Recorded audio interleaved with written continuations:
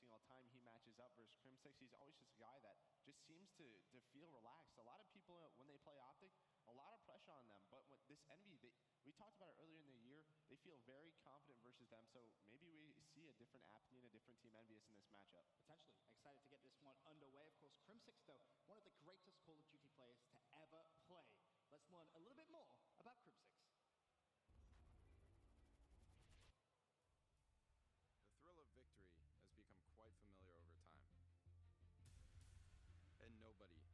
it as well as I do. The money, the fame, the feeling. They say it's more difficult to stay on top than it is to get there. The thing is, I've been on top for years. I've always approached situations with one idea in mind that I will do anything I need to do to win. Over time, I've watched veterans fall, old teammates turn into rivals, and new players entering the spotlight. Won under different organizations with multiple teams and at tournaments across the globe. Yet the pressure to win is even greater than it was before. There will always be those who attempt to take my title, but there's only one thing stopping them. I'm not done yet.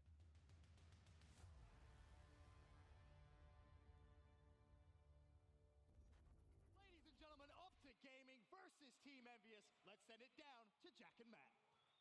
Oh boy, oh boy, I am very excited for this, folks.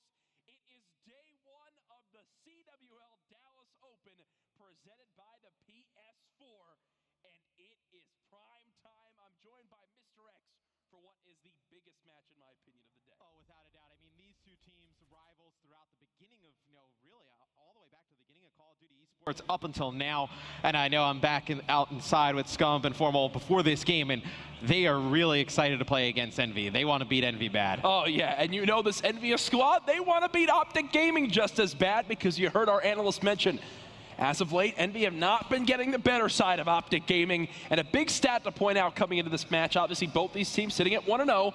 Every player in this lobby has above a 1.0 KD. These guys have been dominant so far in their first series. And look, I mean, to keep a rivalry alive, one side has to win Yes, sometimes. I mean, you can't true. be a rival when one side is just dominating these games. So Envy needs to come out, have a good performance here. They have a great chance. I mean, if they're able to win this, they take the top spot in their pool. Yeah, and this is definitely going to be one to watch out for. Everyone predicted that it would be Optic and Envy sitting up top Pool A. Now we get to really see who will be the team taking that lead and the advantage going into Saturday.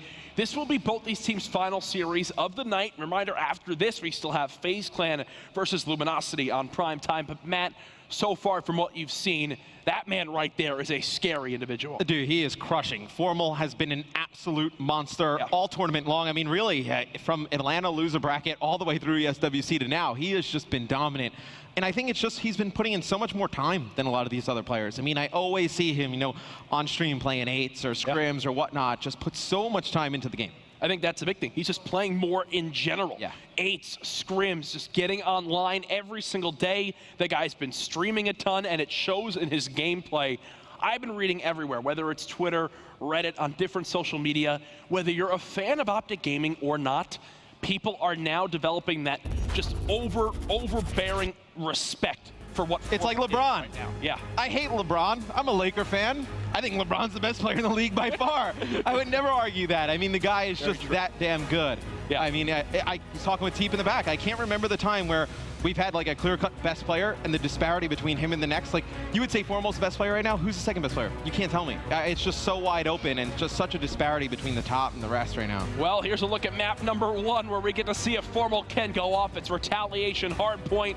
Matt, I'm ready to go. Folks in the venue, make some noise. It's Optic Gaming versus Envy in Retaliation Hardpoint.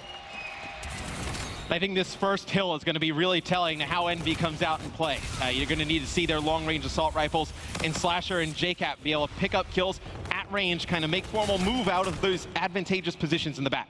And they know how Formal likes to play. These two teams have a lot of experience against each other now. Some of the longest standing veterans in Call of Duty, many Call of Duty championship victories between these squads.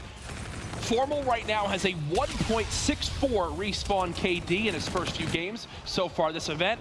As he looks to build on that here, it's currently Envy in control of the hard point. as uh, you got Apathy heating up with this NV4. Well, this map actually may end up playing in Envy's favor a little bit, Jack, because you do have, it's a little bit longer, obviously, longer sight lines. So it's going to be difficult to get up in close range with the K-bars and even, you know, let's say Scump on a run an ERAD. Not going to really be possible here. It actually may play out in favor a little bit more towards Envy. Well, right now we do see Envy with that little lead, as you mentioned. Woo, JCap with a nice snapshots down onto Formal. He's at 5 and one right now. Let's talk about JCap, because this man, yes, he's not known statistically for being the biggest player on this team, but JCap just knows how to win. Why Why is that? What makes JCap so great at just getting championships? I mean, look, he's been playing for years, right? Started out one of the best assault rifles in Call of Duty esports, and then kind of transitioned into a little bit like an objective player role, and then he now just kind of fills any position. I mean, we do see at times he comes through with these big kill games, but really it's all about just filling in gaps, playing smart, you know, kind of leading this team to success. And, uh, you know, it takes a lot for a player who is like a, a top flight player, top flight slayer to kind of step back and take a different role. Not many players would be able to do it. He lets his teammates be the superstars, but right now he's the one leading it all at 8 and 3. We'll go ahead swap our attention over to Optic Gaming, where we have been talking a lot about Envy so far in this one, but it's actually OG up by about 10 seconds. As we begin the rotation towards this back cathedral side, right now there's going to be some tough gunfights here for the likes of Crimsix alongside Karma. Can they get the job done? It's going to be a no. Nope, they rotate a little bit late, and they're going to get punished for it as Cathedral goes over to Envy here at the beginning. You see how far the members of Optic Gaming are spawning away from this hill on your mini-map. They're going to have to pinch from both sides to try and take it back. Maven is just spazzing out watching this game right now. For some reason, he just walked in front of us, started making all these weird hand gestures. I think he's just excited that Formal's currently playing. And, you know, hey, maybe maybe he's the difference maker. When Maven was casting Formal, 1.64 respawn KD. Now I'm casting him, he's 4 and 7. Yeah, it's a, it's a curse whenever you cast Optic. I That is true. I, I read Time that for all the tweets to come in. I Yep. read that on Reddit, so it's got to be true. Yeah, anything you read on Reddit is 100% factual. Uh, but you do see Optic Gaming coming from the bridge side. They're going to be able to get control of the hard point, and you're going to see Scump against Slasher here. Scump wins that gunfight. He's going to try and get over towards Broken here first. Would be huge if Optic Gaming gets control of this hard point. And this is what we want to see from the Optic Envy series. So evenly matched. The score you saw it 68 to 68 for a brief moment there. Scump doing what he can to try to get these entry kills to try to fight for these back spawns. And we've been talking a lot about how Scump has switched back to the likes of an ERAD. On a map like Retaliation, this is not one where you bring up that gun quite too often. You're seeing he's having to use the K-bar here right now, currently leading his team at 11 and 6. But right now, Envy do lock down the spawns early on for this Broken Hill. Yeah, and I thought the difference between these two teams last year towards the end of the year was, you know, Envy just played a little bit of a smarter game. They were rotating a little bit early. And I thought John was just the best player in the lobby at times Yeah. last year. And uh, right now at 3 and 8, not showing the skill, at the potential that he has. But Envy still in control of this game. They're holding this down, Jack. 30 seconds left on this hard point. Now, they take another 15 or so seconds here. It would be a huge for Envy. And right now, it looks like they're going to potentially do exactly that. Slasher with a 1v1 gunfight opportunity just runs out of boost, and it winds up hurting him there. As Scump gets the two entry kills he needs, he's now double positive, and Optic Gaming will bring this game back within seven. So, Matt, we're about to go into our final hill of the first rotation. Biggest takeaways so far from what you see, and what do these teams need to improve upon? I mean, look, it has not been pretty for Optic Gaming, and they're still in this game. If you're Envy, kind of you get a slow start from everybody outside of Scump, you need to punish them for it. When those players are not playing well, you need to take advantage. You need to build yourself an early lead because you know they're just going to start to rack together kills, and it's going to spiral out of control, and you're not going to be able to withstand. Scump, 16 and 8 right now. We critiqued him earlier in the year for a week first event to open up this CWL season. Since then, though, he's been an absolute beast. And right now, he's showing it here against one of America's best in Envious. Still only 10 seconds between these two teams. The kill feed all green for Optic Gaming. It's now four dead on Envy.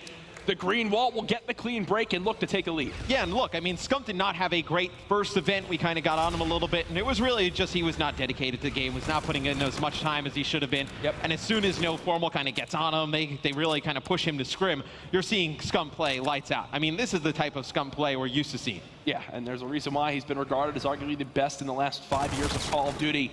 The end of the first rotation, it's a 10-second game. Again, though, the kills on rotation for Optic Gaming. And now, Matt, look at the combined streak. You've got four from Formal, three from Crimsix, four from Scump.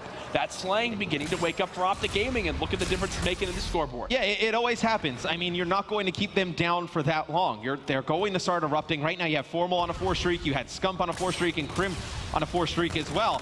I mean, once these guys start to get going, they're difficult to stop, almost impossible to stop, Jack. And when you do have, you know, the early control in the game, you need to get a huge lead because then when this starts to happen, you still have some leeway. You can still rotate a little bit early. You can really focus down on one hill, try and keep the game in your favor.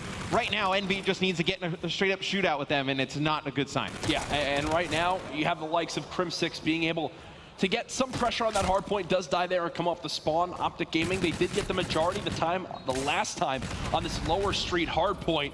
As now look at the man who's beginning to wake up for the first time this game. He's positive at 15 and 14. We've got Apathy in top bedroom catching Scump off guard. You know, a lot of history between these players as well. I mean, Formal was on Envious for a very long time during Ghost. Yep. You know, played with JCap. Uh, you have uh, Karma, who's been on Envy as well. JCap has been on Optic, so a lot of history between all the players, I know, regardless of organizations in the room. Scump was on Envy for five days. I mean, five days may be a stretch. uh, five hours, possibly. Yeah. There, and as we mentioned, that Optic Gaming with the clean break again, looking to continue to expand on this lead. Matt, I think it's pretty simple, right? And, and, am I right in saying that Slang is the biggest difference between the first half of this game where oh, Optic were down and now this half where they're in the lead? Yeah, without a doubt. I mean, this is the second four streak we've seen Formal on, Scump now on a three streak, the second streak we've seen him on in the last two hard points, and you see it just reflect in the score. I mean, this is one where we go over towards Bridge, and Envy is still in control of this game, and Optic has just blown it out of proportions, and right now, they have the rotation for Cathedral as well. These are the kills that Optic Gaming missed out on last time where Envy began to really expand on their lead. Let's see if they have a better take at it now. It does appear so as Scump is here for this new hard point, but the pinch coming in from John from the street side. Scump begins to sniff it on out, wins the first 1v1 there. More pressure coming in as all of his teammates are coming off spawn. Envy looking to get these kills on rotation. Somehow Scump is still alive. Finally does perish, but he's bought enough time for his teammates to flood on. He, he did his job. I yep. mean, he stayed alive long enough to his teammates can come all the way down bridge. Did an excellent job just focusing on that. Market side, Karma's going to pick one up inside of the hard point, and Optic Gaming should be able to withstand control of this, or at least split the rest of this time. Yeah, and 25 seconds would be great for Envy to come back with right now as it would bring them back within striking distance for this next broken hard point. I do believe the rest of the scrap time will go to the boys in blue. And this is also enough time for them, though, Matt, to move across the map and begin to put pressure near Broken with that gunfight win versus Scump. This setup for Optic Gaming is not ideal for this Broken Hill. Yeah, well, you do see John pushing in from the Three one side there. One. Yep, they're going to have a flank set up here. So John's going to win another gunfight, and now Envy gets control of Broken. This is going to be very interesting, Jack. You see all the pressure from Optic coming on that bottom side of the minimap. If Apathy picks up a kill or two in the back here, Envy could end up getting a full hold. Apathy's got a tall order ahead of him, so does John. The first engagement coming on through. John's got help. Unfortunately, Optic Gaming are there, and they will stop any scores for Envy. You hear the crowd recognizing it there as well. If Optic can get the rest of this time, they'll be within five seconds of winning map number one. Yeah, what happens there is as soon as Apathy drops in the back, John has to look towards that area, inside of the hard point. He gets pushed from the front. He gets taken out. Optic pushes all the way through, cross that bus here on your screen. They're able to get the cutoffs. Still all green in the kill feed. The fourth and final kill is there.